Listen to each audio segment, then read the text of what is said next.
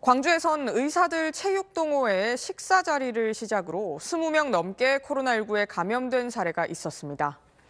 확진된 의사 중 한 명은 증상이 발생했는데도 환자를 진료했던 걸로 드러났습니다. 최재영 기자입니다.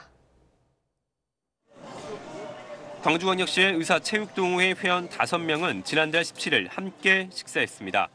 이 중에서 4명이 지난달 25일부터 28일 사이에 확진 판정을 받았습니다.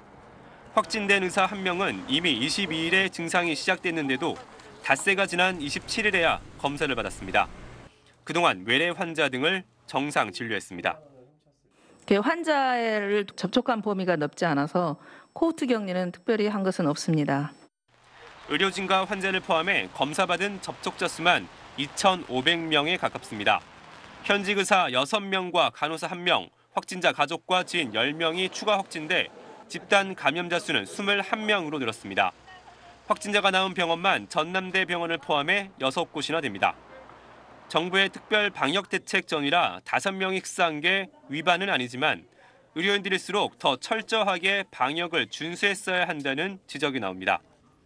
울산에서는 선교 캠프 관련해서 신규 확진자만 50명 가까이 늘었습니다. 첫 확진자가 나온 지 닷새 만에 확진자가 93명으로 늘었습니다. 선교 캠프는 지난달 19일부터 이틀간 열렸는데 참가자들이 여러 지역으로 흩어져 예배를 본 것으로 드러났습니다.